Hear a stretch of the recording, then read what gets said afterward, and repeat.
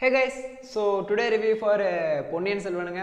மணிரத்னம் டைரக்ஷனில் ஏஆர் ரமன் மியூசிக்கில் நம்ம ஜெயம் ரவி கார்த்திக் விக்ரம் அப்புறம் வந்து ஐஸ்வர்யா ராய் த்ரிஷா பிரபு விக்ரம் பிரபு அப்படின்னு பல பேர் ஒரு திரை பட்டாரமே சேர்ந்து நடித்த படம் தாங்க இந்த பொன்னியின் செல்வன்.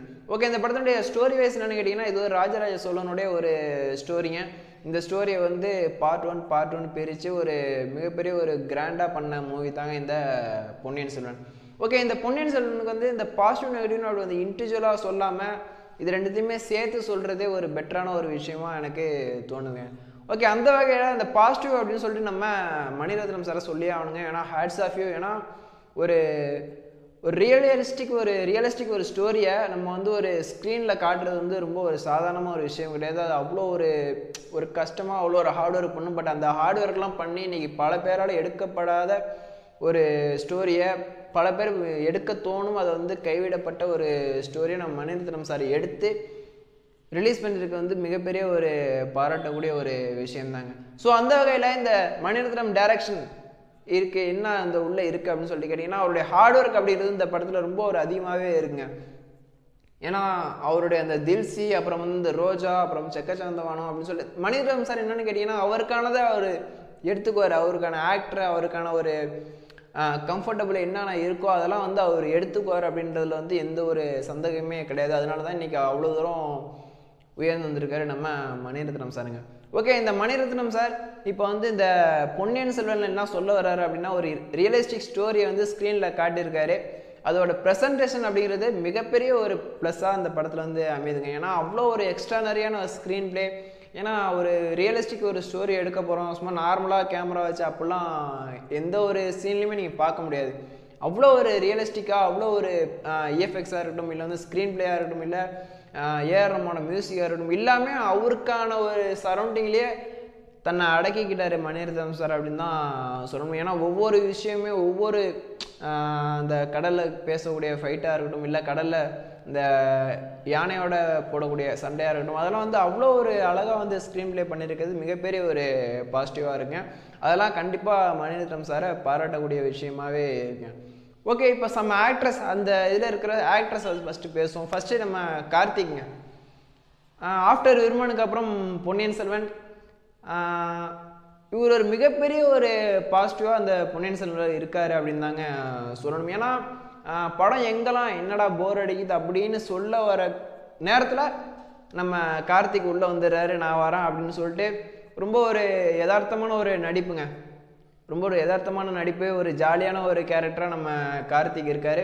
ரொம்ப ஒரு என்ஜாய் பண்ணி ரொம்ப ரசிக்கக்கூடிய கார்த்தியாக தான் இந்த படத்தில் நீங்கள் பார்க்கலாம். தென் இந்த பக்கம் நம்ம விக்ரம் ஒரு துரும்பான ரொம்ப ஒரு ஹார்டான ஒரு விக்ரம்ங்க. விக்ரம் இந்த படத்தில் இந்த ராவணன் மூவிலாம் பார்த்துருப்பீங்க? அந்த ராவணன் மூவிலோட விக்ரமை நீங்கள் இதில் வந்து அப்படியே அச்சாசரமாக பார்க்கலாம். ஏன்னா அந்த மாதிரியான ஒரு முரடு பிடிச்ச ஒரு ஹார்டான ஒரு விக்ரமை நீங்கள் இந்த மூவியில் வந்து பார்க்கலாம். ரொம்ப எக்ஸ்ட்ரானரியான ஒரு ஆக்டிங்கை ரொம்ப சூப்பராகவே பண்ணியிருக்காரு நம்ம விக்ரம்ங்க. அப்புறம் ஜெயம் ரவி பொன்னியின் செல்வன்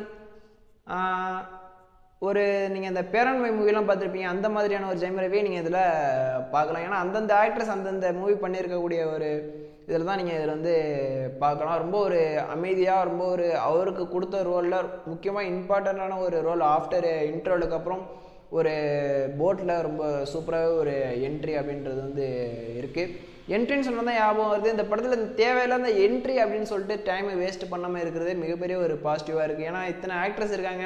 ஒவ்வொரு ஆக்ட்ரஸுமே தனித்தனி ஒரு என்ட்ரி தனித்தனி ஒரு இது. அப்போலாம் இது இல்லாமல் ஒரு ஆக்ட்ரஸ் உள்ளே வராங்க அப்படின்னா அவங்களுக்கான ஒரு என்ட்ரி அப்படின்றது ஒரு த்ரீ ஆர் ஃபைவ் செகண்ட் தான் அவங்களுக்கான என்ட்ரி அப்படின்றதுல மிகப்பெரிய ஒரு பாசிட்டிவாக இருக்குது தேவையில்லாத அன்னெசரி சீன்ஸ் எதுவுமே இல்லைங்க.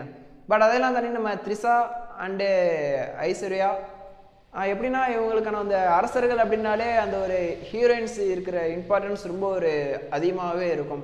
ஸோ அந்த வகையில் இவங்க ஒரு எப்படி சொல்கிறது அவங்களுக்கான ஒரு கேரக்டர் அப்படின்றது ரொம்ப ஒரு எக்ஸ்ட்ரானரியாக இருக்குன்னு சொல்ல வரேன் இல்லையா? ஒரு நேச்சுரலாக ஒரு ஒரு ஹேண்ட்ஸமாக ஒரு பியூட்டியாகவே இருந்தாங்க. நம்ம ஐஸ்வர்யாவும் த்ரிஷா அப்படின்னு சொல்லிட்டு சொல்லி ஆகணுங்க.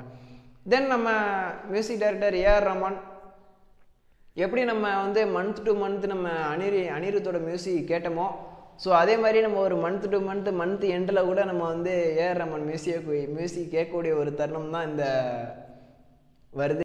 ஓகே இந்த பொன்னியின் செல்வனை பொறுத்த வரைக்குமே அந்த போரிங் அப்படின்ற விஷயம் ஆடியன்ஸுக்கு வரக்கூடாது அப்படின்ட்டு ரொம்ப ஒரு தெளிவாக நம்ம மணிரத்னம் சார் இருக்காருங்க. அந்த போரிங் வரக்கூட வராமல் இருக்க தடுக்கிறது தாங்க நம்ம அந்த துப்பாக்கி படத்தில் நடித்த ஒரு அந்த ஆர்மியை இந்த படத்தில் போட்டு அவ்வளோ ஒரு காமெடி பீஸாக ரொம்ப ஒரு ஒவ்வொரு இடத்துலையுமே ரசிக்கக்கூடிய ஒரு ஒரு எப்படி ஒரு சீரியஸ்னஸாக போயிட்டுருக்க ஒரு இடத்துல கூட ஒரு சிறுப்பு மூட்டக்கூடிய ஒரு ஆளை தான் இந்த படத்தில் வந்து இருக்கார். ரொம்ப ஒரு காமெடியாக அந்த மூவியில் வந்து இருந்தார் அப்படின்றதுல மிகப்பெரிய ஒரு பாசிட்டிவாக இருக்குது உண்மையான ஒரு விஷயம் அவர் இருந்ததுனால தான் அந்த அந்த ஒரு போரிங் அப்படின்றது இல்லை அப்படின்னு சொல்லி ஆகணுங்க. பட் இதெல்லாம் தாண்டி அந்த நெகட்டிவ் அப்படின்னு சொல்லி என்னன்னு கேட்டிங்கன்னா நெகட்டிவ் அப்படின்றதே எதுவுமே இல்லைங்க. ஏன்னா இதுவே பல பேர் சொல்லுவான் என்னடா போய் உட்காந்து பாகுபலி மாதிரி இருக்கும்னு நினச்சா என்னடா வேறு மாதிரி இருக்குது அப்படின்னு சொல்லிட்டு நினைப்பான். கிடையாது. பாகுபலியை தயவு செய்து இந்த படத்தோடய கம்பேர் பண்ணாதீங்க. ஏன்னா அது ஒரு மூவி இது ஒரு ஸ்டோரி அந்த மூவி ஸ்டோரியும் ஒரு வித்தியாசம் இருக்குது அது வந்து எந்த விதத்துலையுமே கம்பேர் பண்ணாதீங்க. ஏன்னா இது பல பல பல பாகுபலி அப்படின்லாம் அந்த மாதிரியான ஒரு சீன்லாம் இதில் கிடையாது. ஏன்னா இது ஒரு பொன்னியின் செல்வன். இது ஒரு ரியலிஸ்டிக் ஸ்டோரி அந்த ஸ்டோரியை நீங்கள் விசுவலாக பார்க்குறீங்க.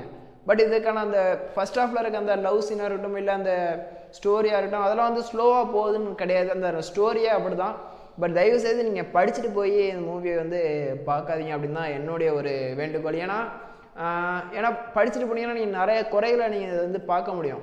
என்னடா இந்த சீனில் நம்ம இதை படித்தோம் இது வரலையே அப்படின்னு சொல்லி. ஏன்னா அவ்வளோ ஒரு லென்த்தியாக போய் அவ்வளோ ஒரு டீப்பாக போய் டூ ஹவர்ஸ்லாம் முடிக்க முடியாது. இ- பொன்னியின் செல்வன் ஸ்டோரி அதை வந்து ரொம்ப ஒரு மேலோட்டமாக எடுத்திருக்காங்கன்னு தான் சொல்லணும். ஏன்னா பார்ட் டூவில் அதற்கான ஸ்டோரி அப்படின்றது ஃபுல்லாக வரும். இது பார்ட் ஒன் அப்படிங்கிறது வந்து யார் யார் என்ன அப்படின்றதுலாம் ஒரு இன்ட்ரடியூஸ் தான் இந்த பார்ட் ஒன் பார்ட் டூ அப்படின்றது டூ தௌசண்ட் டுவெண்ட்டி த்ரீல வந்து வரும் அப்படின்னு சொல்லிட்டு கிளைமேக்ஸில் வந்து போட்டாங்க. பட் அதற்கான வெயிட்டிங் தான் எல்லாமே பண்ணிகிட்ருக்கோம் பட் ஓகே இந்த மூவி வந்து வந்து ஜெயிச்சிச்சா? இது வந்து இந்த தமிழ் சினிமாவில் வந்து உள்ளே வந்துருச்சா? உண்மையாகவே இது வந்து மணிரத்னம் கம்பேக்கா அப்படின்னு சொல்லிட்டு கேட்டிங்கன்னா உண்மையாகவே ஹண்ட்ரட் பர்சன்டேஜ் வந்து கம்பேக் தாங்க. இது ஒரு வெற்றி அடையக்கூடிய ஒரு படம் தான் கண்டிப்பாக இது வெற்றி அடையணும். ஏன்னா ஒரு தமிழ் மூவி நம்ம தமிழ் மண்ணுக்கு வரக்கூடிய ஒரு மூவி தான் இந்த பொன்னியின் செல்வன். எல்லாரும் பார்க்கக்கூடிய ஒரு மூவி ஒரு குட் மெசேஜ் சொல்லக்கூடிய ஒரு மூவி ஒரு அரசர்களுக்கான ஒரு மூவி தாங்க இந்த பொன்னியின் செல்வன். ஓகே நண்பா மீண்டும் ஒரு அடுத்த ரிவ்யூவில் உங்களை சந்திக்கிறேன்.